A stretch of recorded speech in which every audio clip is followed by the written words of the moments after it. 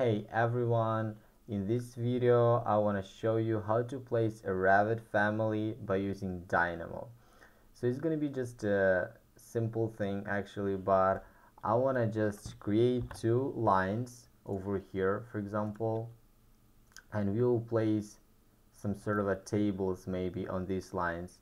I know in this case you know this is isn't necessarily the most efficient way to place a Revit family because you can do it way much easier by using just Revit but you know by going through that process of building a dynamo graph uh, we will we'll, th that will be some sort of a foundation from foundation like some sort of a foundational skill that we will build upon to uh, to create some more complex families right? Uh, so our goal is to place some tables on these lines so how can we do something like that? Let's launch dynamo. Let's wait for a minute go with new. And first things first you need to understand what you want to create here in dynamo.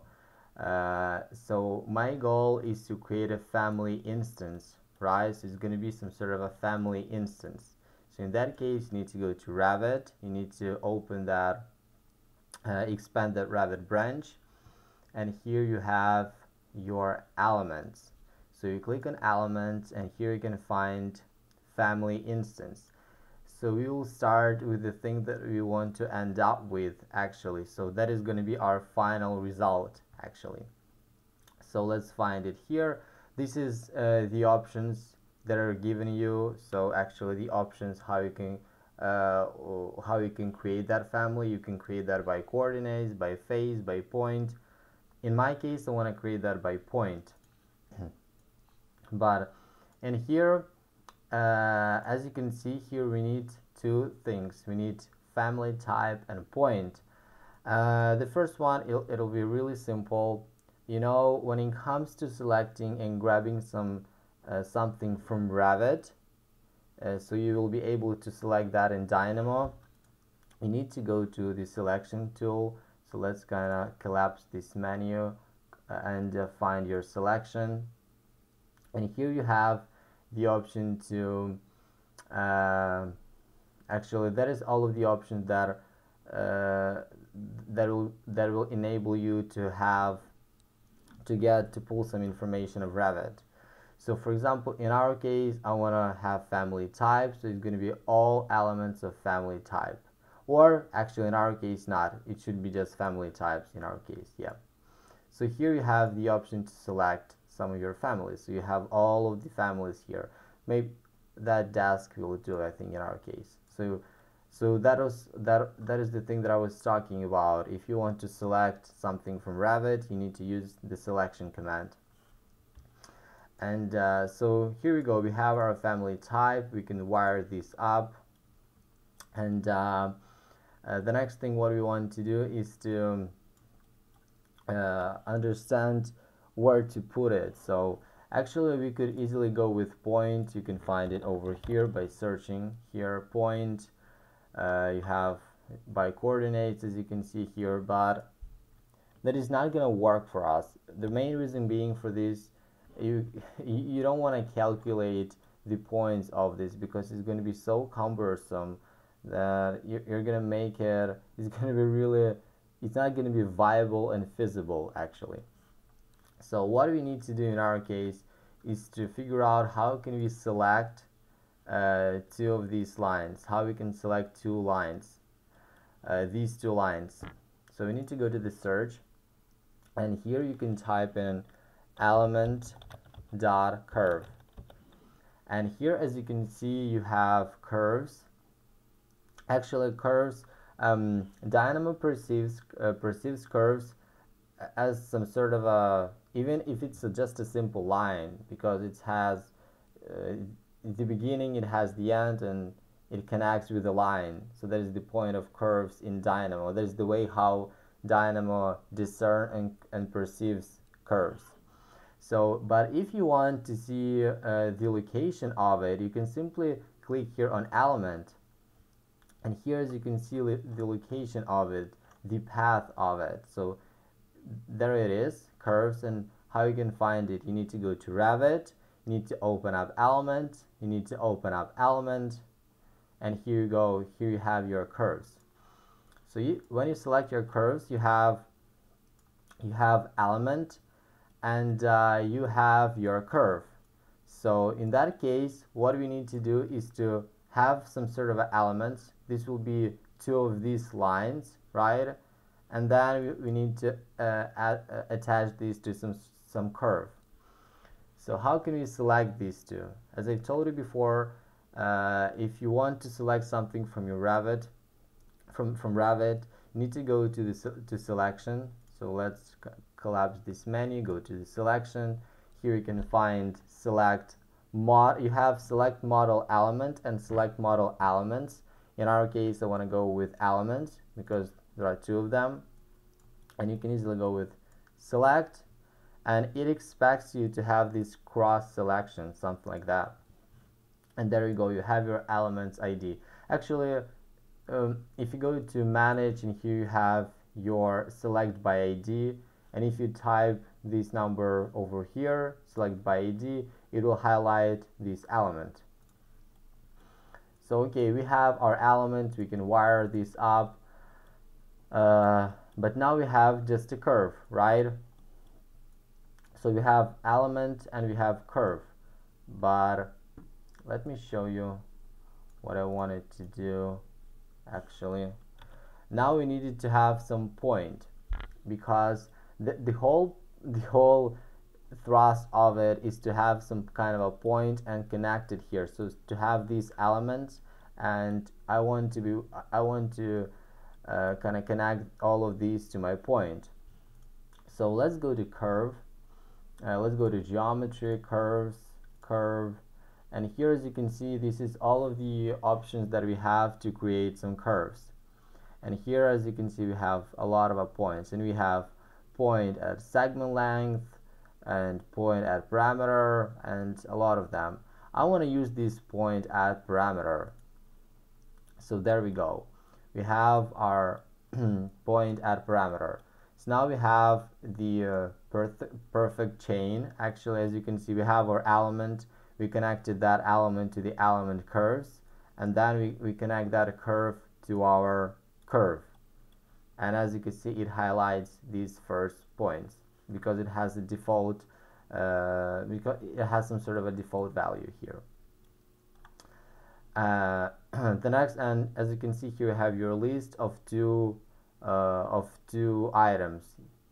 As you can see this one uh, th that one and that one. So now you need to determine the parameter. Um, and kind of as you can see the output here is point. So that is the perfect that is perfect for us. So we can determine the parameter and connect that to the point and that'll help us connect our kind of not even connect but to place our to display our tables. So uh, you can create a parameter by using if you hover over it as you can see it it says double. Double is just a computer programmer speak for a number with decimal uh, points uh, so you can use here number or you can find it search for it like that number. But what I prefer using is actually we have some sort of a sliders. So you can again type your slider. Uh, and again if you want to see the uh, the path of it you can click here. I'm not gonna do that right now. Uh, so you can type not number slider. But it's not gonna work actually it's going to work if you just connect these two.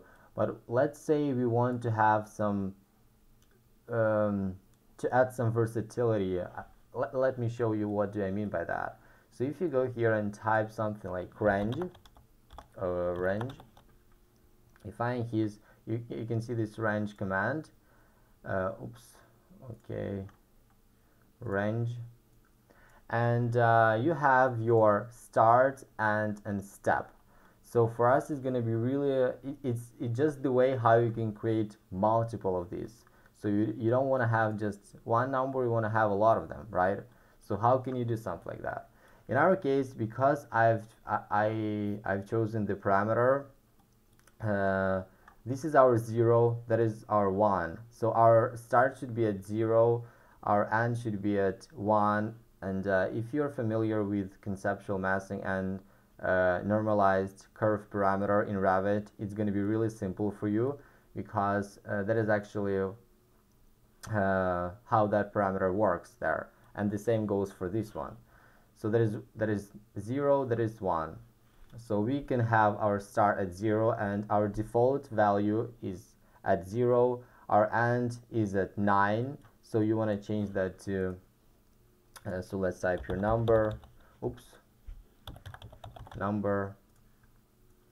Go with 1 and wire this up. And then we have our step. So our step will actually determine how many uh, do we have of these. How many list do we how many items do we have. So for example, if your step is one, you're gonna have just two of them. And the main reason for the main reason being for that is your start is at zero, your end is at one. Uh, so and your step is one, right? So if you go with the step of one, you just have two of them at zero and at one. And uh, if you can have this number slider and you expand this slider, you have minimum, maximum, and step. So I can change even to 0 here. Here I can change to 0.5, for example, maximum. And our step, you can make it really small if you want to have, you're to have a lot of tables. Okay, let's change something like that. So you, ha you have these small, small increments, as you can see. And uh, if you wire this thing to step and kind of make them, as you can see, as you move that to the right and make this step bigger uh, the less you will have of these items over here so if I make like 0 0.05 we have a lot of them. We have 21 of them. Why 21 because we start we start from 0 all the time. So now you can simply uh, join this uh, sequence to your uh, parameter. Actually yeah to your parameters it, it will be our parameter. And uh, oops. And you can connect this point to here uh, now you'll have just two tables actually. And uh, I think it's it's kind of a topic of uh, one video. I'll, I'll make this video about lacing. But to make a lot of them you just need to right click here go to lacing and you have cross product and you have and you have a lot of them. Uh, I think I will create a video about lacing so you'll understand that uh, mm, so I'll be able to talk about that more coherent so coherently and uh, yeah and there we go. We have and that is totally parametric so you can change the numbers of it. Uh, it, it perfectly works with some sort of a trees. When you have some curves like that and you kind of can, can uh, place exactly where you want these trees or something else. Uh, so that's the way you can uh, place your families on hmm, place your Revit families by using Dynamo.